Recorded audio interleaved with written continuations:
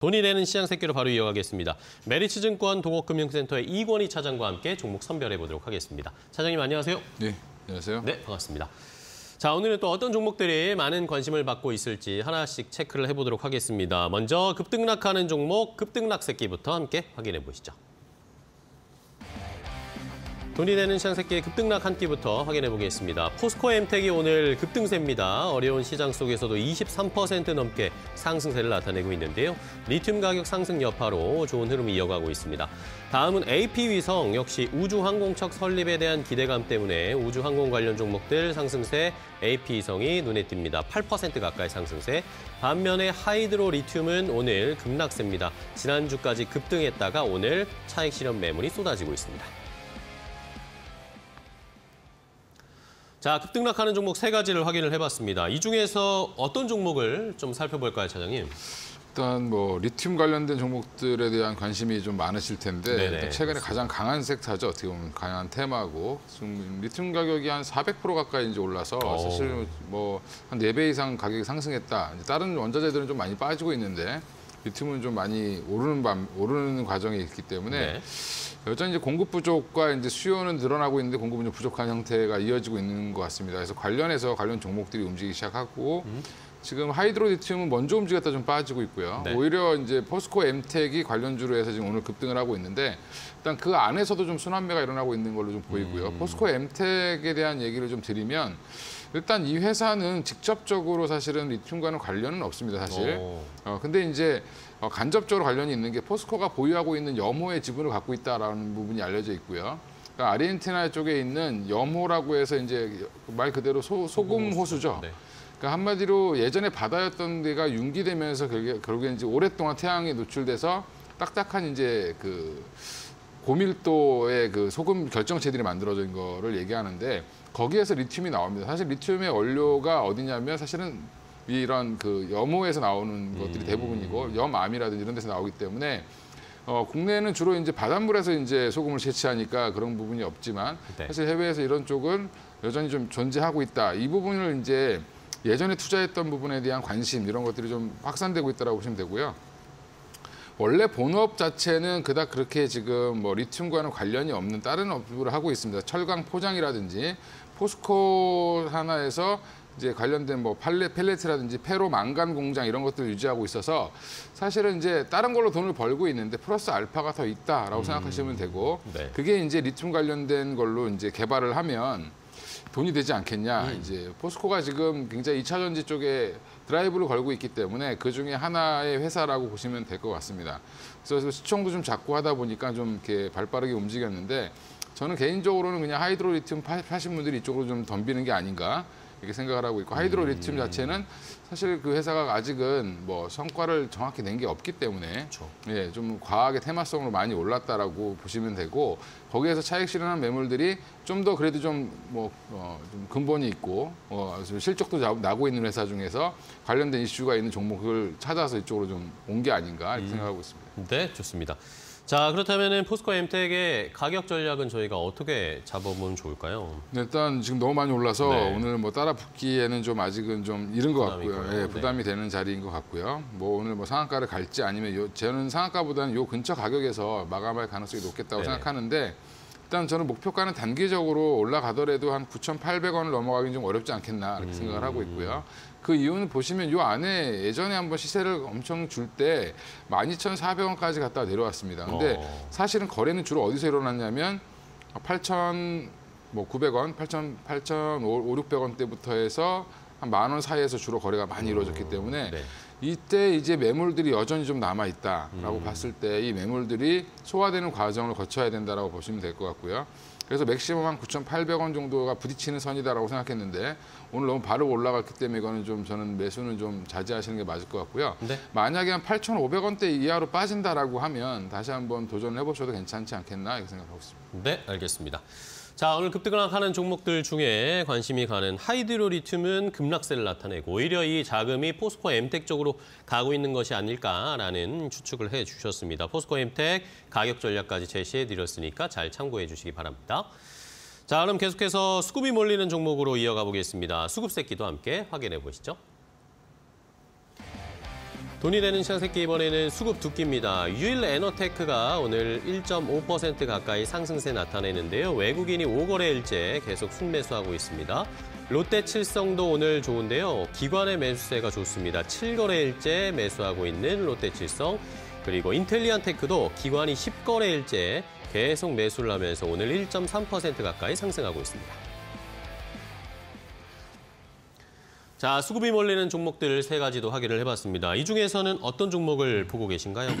일단 뭐 호재가 한 두 개 정도 있는 유일 에너테크를 좀 보시는 게 좋을 것 같아요. 예. 네. 근데 최근 보면 수급은 뭐 그새 아주 뭐 뛰어나게 들어온다기보다는 시가총액이 크지 않다 보니까 최근에 어제 이제 보면 그 지난주죠 지난주 금요일 날 네. 예, 외국인과 기관들이 좀 들어온 모습을 보였고요. 주가는 이제 워낙 바닥에서 지금 박스권을 형성하고 있기 때문에 언제든지 튀어도 이상하지 않다라고 보시면 될 것 같습니다. 이 회사가 주로 하는 일은 어 이게 이제 2차 전지 자동 화 조립 장비 그러니까 조립을 할때 2차 전지를 조립할 때 마지막에 들어가는 장비라고 보시면 되고요. 그게 매출의 한 82%를 차지하고 있고 주로 이제 2차 전지 장비주로 보시면 될 것 같습니다. 그래서 2차 전지 장비주에 대한 얘기들이 굉장히 많죠. 많은데 어, 그 이유는 결국에는 증설이 계속 일어날 수밖에 없는 상황이기 때문에 관련된 장비의 수주가 있을 거다라는 얘기는 여전히 다 알고 계실 테고 그거 관련해서 유일 에너테크는 좀 주목을 해보실 필요가 있고요. 그 다음에 요즘에 또 부각되고 있는 건 이제 그 재활용 관련된 건데 폐배터리 재활용 관련돼서 어, 자회사가 하나 있습니다. 이제 관계사가 있는데 지분 투자하는 회사가 있는데 어, 그쪽에서 지금 이쪽 폐배터리 활용된 재활용 사업을 하고 있고 그 중에서 이제 리튬도 뽑아내는 그런 기술을 갖고 있다라는 얘기가 부각되면서 이것도 마찬가지로 리튬 이슈가 좀 걸려 있다라고 생각하시면 되는데 오히려 여기가 조금 더 현실적이지 않겠나 저는 개인적으로 생각을 하고 있습니다. 그래서 유일 에너테크는 지금 가격은 일봉으로 보시면 굉장히 뭐 전고점보다 한 10% 이상 밀려 있기 때문에 네. 조금 부담스러워 보이고 차트 모양이 좀 그렇다라고 생각하실 수 있는데 주봉을 펼쳐보면 네, 쌍바닥을 잡고 예, 다시 한번 전고점을 뚫으려고 하는 모습이죠. 그러니까 항상 걸리는 선이 지금 보시면 한 22,500원 선입니다. 그러니까 22,500원 선을 뚫었다가도 금방 빠지고 계속 여기서 이제 이제 한 두 번, 세 번, 네 번째 부딪혔는데 네네. 이번에 만약에 이걸 뚫게 된다라고 하면 어떤 모멘텀이 나와서 이걸 뚫게 된다라고 하면 좀 가볍게 상승은 가능할 걸로 보는데 그러면 이제 단기적으로는 목표가를 어디까지 보냐라는 부분인데 그 부분은 사실은 한 2만 4천 원 정도 보고 요 정도 상황이라고 보시면 될 것 같습니다. 왜냐하면 요거를 뚫어주는 걸 확인해야 된다. 네. 네, 그럼 한 2만 4천 원 정도가 맥시멈이지 않겠냐? 근데 2만 4천 원을 너무 가볍게 뚫는다라고 하면 조금 더 기다려 보셔도 된다. 그러면 그 다음 목표가 2만 7천 원까지 올리시는 게 예, 맞지 않겠나 싶고요. 그러면 손절가는 저는 1만 9천 원대가 여기서 무너진다라고 하면 사실 추세가 조금 이탈될 수 있다. 그러니까 보시면 여기서 1만 9천 원을 만약에 깬다라고 하면 이 오랫동안 이 다지면서 올라왔던 자리가 무너지면서 사실은 그 다음 단계인 1만 6천 원대까지 하락도 충분히 나올 수 있기 때문에 어, 그그 1만 9천 원을 기준으로 어, 조금 좀 비중 조절을 하시거나 한번 좀 손절을 하시는 게 맞을 것 같다 생각하고 있습니다. 네, 알겠습니다. 자, 유일 에너테크 그동안 뚫지 못했던 2만 4천 원의 벽을 뚫어낼 수 있을지 한번 기대를 해보도록 하겠고요. 만약에 2만 4천 원을 가볍게 넘어선다면 조금 더 눈높이를 높여보자라는 의견까지 주셨습니다. 자, 수급 두끼는 유일 에너테크 확인을 해봤습니다. 자, 마지막으로 테마 새끼도 함께 확인해 보겠습니다. 돈이 되는 시장 새끼 이번에는 테마 새끼입니다. 오늘 항공 우주 섹터가 많은 관심을 받았는데 장 초반에는 그래도 상승부를 켜다가 장 막판에 지금 시장이 좋지 않으면서 하락세로 전환을 해버렸습니다. 자, 조선주들도 오늘 3% 넘게 급락세가 나오고 있고 게임주도 역시 위메이드 필두로 하락세가 이어지면서 3.3% 넘게 하락 중입니다. 자, 마지막으로 테마 세 가지 확인해 봤습니다. 이 중에서는 어떤 테마, 어떤 종목을 좀 봐야 될까요? 뭐 오늘 그나마 좀 뭐 새롭다고 하면 좀 그렇지만 그래도 좀 많이 안 움직이다가 이제 우주항공 테마 관련돼서 움직이기 시작을 네, 했는데 오랜만에. 결국 정책 이슈 때문에 움직였다라고 보시면 되고 네. 그다음에 올라간 종목들 보시면 AP 위성이 가장 많이 올라갔고요. 그다음에 세트랙 아이, 그다음에 뭐 제노코 뭐 이런 인텔리한테 그렇게 움직였는데 생각보다 플러스 난 종목은 많지 않습니다. 네. 많지 않은데 그 이유를 보면 우주항공 섹터들이 좀 사업을 그것만 하는 회사들이 많이 없고 AP 위성이나 세트랙 아이는 좀 그쪽에 많이 집중되어 있는 회사고요. 그리고 시가총액도 좀 작다 보니까 그 주가도 많이 빠져 있었고 그런 부분들이 좀 가볍게 움직였다고 생각하고 나머지 이제 한화라든지 한화 에어로스페이스라든지 뭐 이런 종목들 그다음에 한국항공우주까지 다 봤을 때는 네. 한화 시스템도 마찬가지고 시총이 크고 여전히 사업부가 여러 개로 쪼개져 있기 때문에 우주항공이 차지하는 비중이 좀 적다 보니까 생각보다 반응이 좀 느렸죠. 근데 그러면 오늘 우주항공이 올라온 이유는 결국엔 우주항공청을 설치하겠다라는 이슈 때문에 올라왔다고 보시면 되는데 그렇죠. 우리나라에서 이제 작년 재작년부터 이제 얘기가 좀 나오기 시작을 했습니다. 이제 우주항공청을 설치해야 된다 만다 전 정부 때부터 얘기가 나왔었고 이번에 이제 법안을 이제 입법 예고안을 했기 때문에 그럼 이게 사실은 전 정부도 추진하던 거였기 때문에 민주당 입장에서도 반대할 이유는 없겠죠. 그렇죠. 예, 근데 세부적인 내용의 이제 논의가 좀 다를 수는 있겠지만 결국엔 설치하는 거에는 별 이견이 없을 걸로 보고요. 그러면 이제 이쪽으로는 결국엔 한 정책이 이제 라인이 여러 개가 있다가 하나로 모아지는 거기 때문에 산업 입장에서 굉장히 좀 편하게 정부의 지원을 받을 수 있다라는 네. 부분 이런 부분에서는 좀 긍정적으로 저도 보고 있고요. 그리고 지금 근데 그 안에서 또 어떤 종목을 고를 거냐는 또 그 다음 문제겠죠 그러니까요. 이제 그리고 이게 당장 뭐 달 탐사 달 탐사선부터 시작해서 여러 프로젝트들이 지금 진행되고 있는 게 있기 때문에 여기서 또 새로운 프로젝트가 더 추가되거나 이러지는 않을 겁니다. 음. 그러면 이제 기존에 진행되는 거 가지고는 이미 답안지가 다 나와 있는 상황이기 때문에 주가에 그닥 큰 영향을 주지 않, 않을 수도 있다라고 좀 보고 있고요. 그러면 어, 이 민간이라든지 여러 사업이 확장되거나 아니면 기존에 벌던 회사들 아니면 해외에 뭔가를 납품한 회사들을 찾으실 필요가 있는데 그 회사로 저는 이제 인텔리안 테크를 가장 어, 어, 네. 타픽으로 보고 있고요.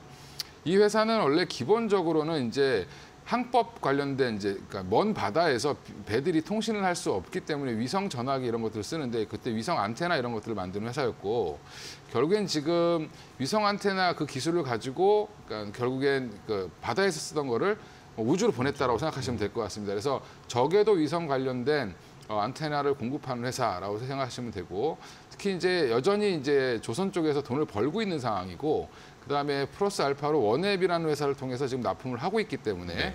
어, 이미 이제 기술력은 입증이 된 회사라고 보시면 되고요.